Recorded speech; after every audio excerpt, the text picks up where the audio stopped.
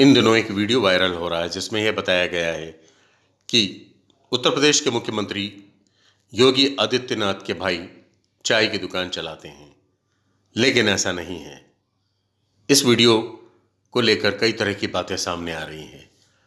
इस वीडियो में जो व्यक्ति दिखाई दे रहा है, वह योगी आदित्यनाथ के भाई जैसा ज़रूर है, लेकिन वह वास्तव में योगी आदित्यनाथ का भाई नहीं है। और कुल मिलाकर इस पूरे मामले को लेकर यह बताया जा रहा है कि देखिए, योगी आदित्यनाथ एक तरफ़ मुख्यमंत्री हैं और दूसरी तरफ़ उनका भाई है जो चाय की दुकान चलाता है। जैसे कि हमारे प्रधानमंत्री के बारे में भी कहा जाता है कि वे पहले चाय बेचते थे। लेकिन योगी आदित्यनाथ के भाई के बारे में जो प्रचार किया जा रहा है, वह गलत है। जो चाय बेचने वाला व्यक्ति है, उसकी शक्ल ज़रूर मुख्यमंत्री योगी आदित्यनाथ से मिलती है, लेकिन वह उनका भाई नहीं है।